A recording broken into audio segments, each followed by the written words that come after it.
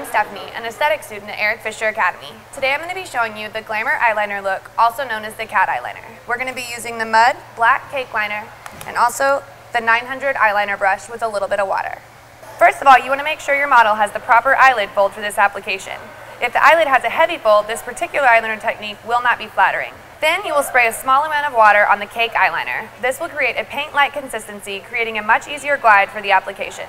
As I load my brush with the product, I will twist the brush to evenly coat the bristles. Finally, I will apply the liner just above the top eyelashes with a point-to-point -point method, starting first with the inner tear duct and then working outward to the outer tear duct.